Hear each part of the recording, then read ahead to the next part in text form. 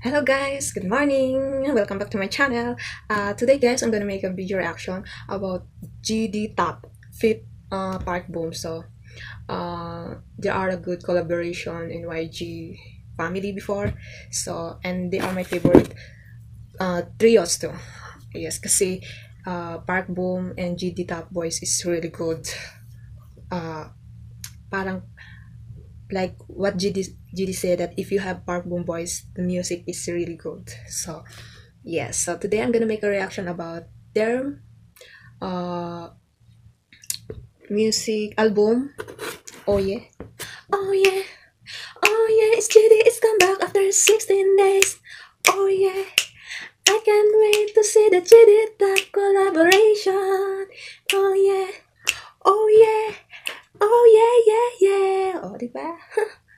That's my version about oh yeah. Oh yeah. Oh yeah. Big Bang is come back. Oh, diba? Ganun-ganun na naman tayo ng Fantastic Baby.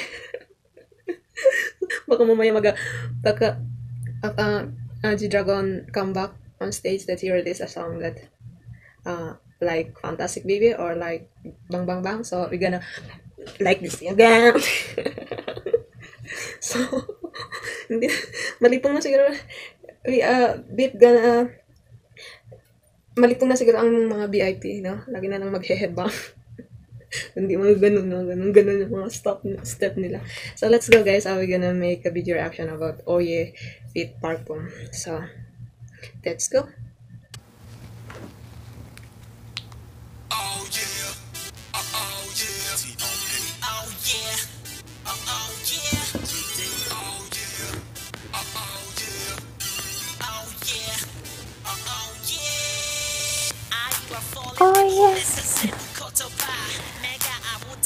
So guys, are you guys ready? The G-Dragon is coming 16 days. Oh my god, I can't wait. 16 days? Yeah, 16 days. So, I can wait that GD Top and Boom. I hope uh, they have collaboration with uh, Park Boom. So, anyone, anyone, anyone, anyone who miss these trios,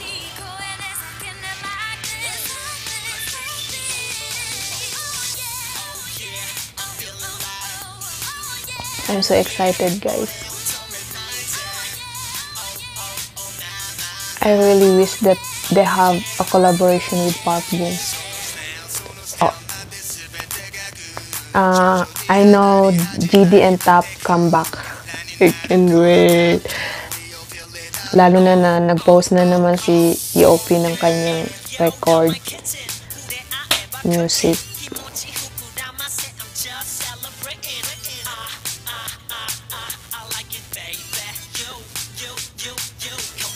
Hmm. Ang ganda ni Park Boom. Ang ganda yun. I miss the alien couple.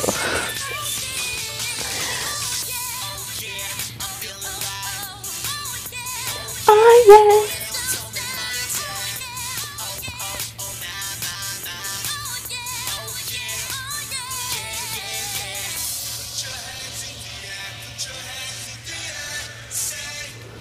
Why you're so pogi pogi, handsome P.O.P. My Diaz. And she dragon.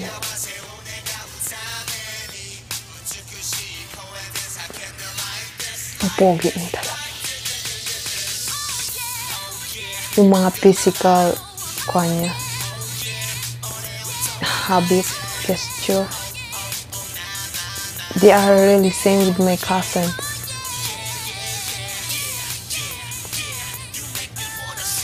Yung mga ganyan niya, oh.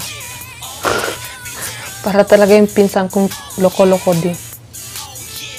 Pareho silang weird.